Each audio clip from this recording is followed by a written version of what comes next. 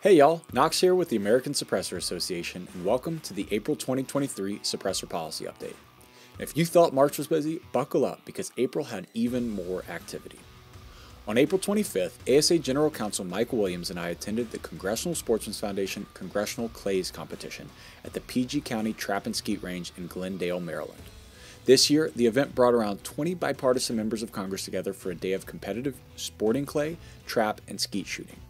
I don't want to tell you what our final score was because it wasn't great, but Michael and I had a fantastic time shooting, suppressed of course, on a team with Representative Tim Walberg of Michigan's 5th District.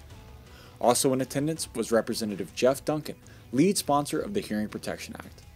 The CSF Clays competition is always a great time and one that we are proud to be a part of. On the state side, the Colorado Assault Weapons ban has been tabled indefinitely, meaning, for all intents and purposes, that bill is dead. ASA Vice President Owen Miller testified in opposition to the bill, noting during his testimony that any restriction on threaded barrels is a direct infringement on law abiding citizens' ability to use a suppressor. Nearly 600 ASA members in Colorado contacted their legislators to voice their opposition.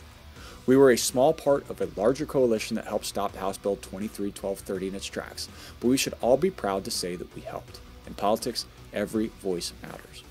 In Rhode Island, the Senate Judiciary Committee hosted a hearing on April 25th that included three pro suppressor bills S 348, S 383, and S 394.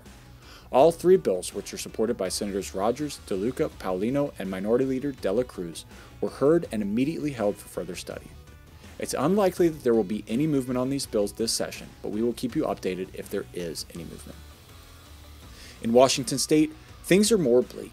Also on April 25th, Governor Jay Inslee signed House Bill 1240 into law, making Washington one of the most restrictive states when it comes to guns. Thankfully, the new law, which is undeniably unconstitutional, does not outright ban suppressors.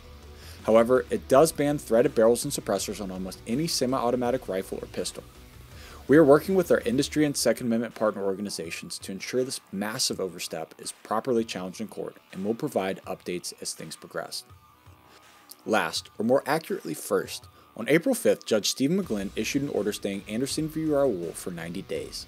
His order says that he issued the stay so that he could focus on four consolidated cases before him that challenge Illinois' assault weapons bans. This means that the ASA Foundation and Silencer Shop case, which is challenging the ban on suppressors in Illinois, is on pause until July at the earliest. This development is potentially advantageous as a favorable ruling in the assault weapons ban cases could be helpful for our challenge. That's it for our April policy update. Be sure to tune in next month, and we'll see you then. As a nonprofit, our job is to fight for your rights, and we could not do it without your support. Your membership and your donations fund our fights in Washington, D.C. and in state capitals across the country. I promise that the American Suppressor Association will not stop fighting until suppressors are removed from the National Firearms Act and are legal to own in all 50 states. Help us protect your right to protect your hearing by making sure your membership in the American Suppressor Association is active. Visit us at asamember.com to join or renew today. That's asamember.com.